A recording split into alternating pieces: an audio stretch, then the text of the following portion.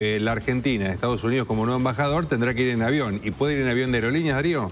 Eh, a ver, la verdad que no lo sabemos porque ha habido complicaciones en las últimas horas. En realidad ha habido casi cinco vuelos, siete vuelos reprogramados, uno a Madrid, otro a Roma, uno a Miami y otro a Cancún. ¿Por qué? Bueno, esto tiene derivaciones eh, directas de lo que han sido las asambleas y los paros, ¿no es cierto?, de aeronavegantes, de pilotos, básicamente de los pilotos de APLA, que han interferido lo que son las renovaciones de las licencias que los pilotos tienen que tener para volar las distintas aeronaves. Por un lado están los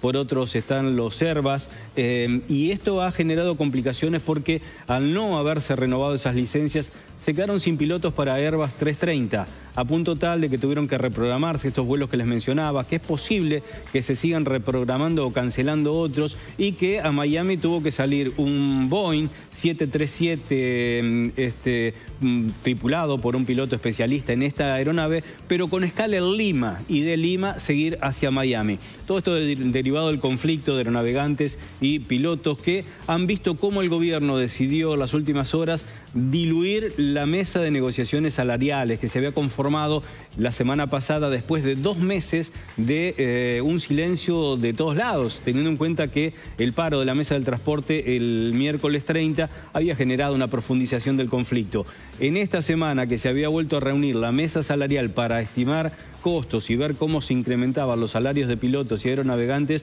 surgen estos paros, surgen estos inconvenientes derivados de los paros, la imposibilidad de volar porque hay pilotos que no tienen su matrícula al día eh, y entonces el gobierno que decide desactivar esto como una suerte de castigos a los que están complicando a unos 3.000 pasajeros y lógicamente perdiendo o generando pérdidas a la empresa estatal. Muy bien, Darío, hace un tiempito eh, en la plataforma NET